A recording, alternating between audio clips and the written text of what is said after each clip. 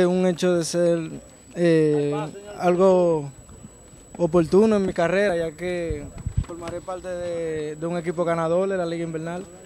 ¿Y cómo tú has visto este día de práctica aquí? ¿Qué te ha, qué te ha parecido el grupo de Águilas? Bien, bien, muchachos unidos, eh, fortalecidos para quedar campeón esta temporada. ¿Tú crees que tú encajas dentro de ese equipo? Sí, con Dios delante, sí, puedo encajar.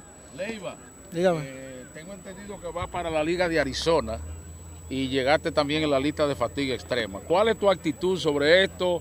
¿Estarías haciendo alguna diligencia con tu agente a ver si te permite participar o algo así?